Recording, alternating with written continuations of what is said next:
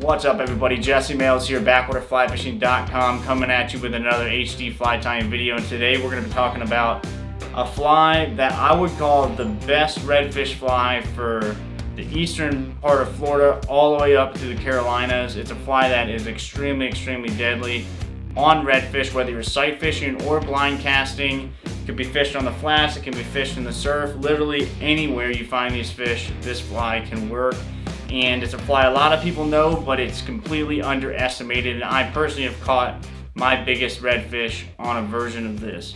Um, but it's super simple, so let's check it out.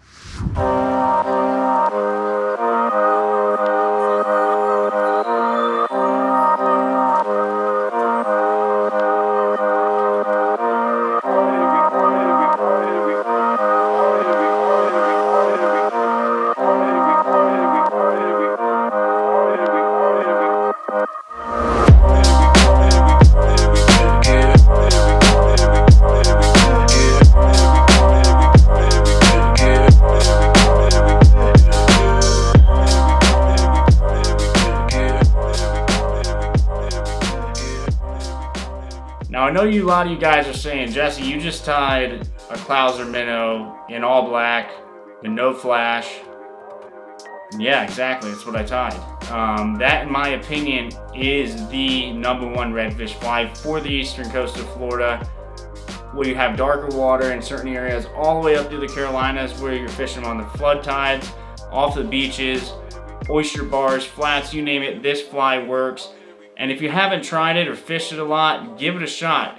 These fish can see that fly so well, whether it's sitting over mud, whether it's clear water and you're stripping it fast, whether you have bead chain or lead on, that thing is gonna get the fish's attention. It's extremely weedless. It can bounce off of anything. It enters the water really light. If you have spooky fish, put bead chain eyes on that and you'll be able to get up close to them no problem. They're gonna see it, they're gonna react to it. Um, the only variation I do sometimes is put purple purple belly on it. So it's a purple black clouser.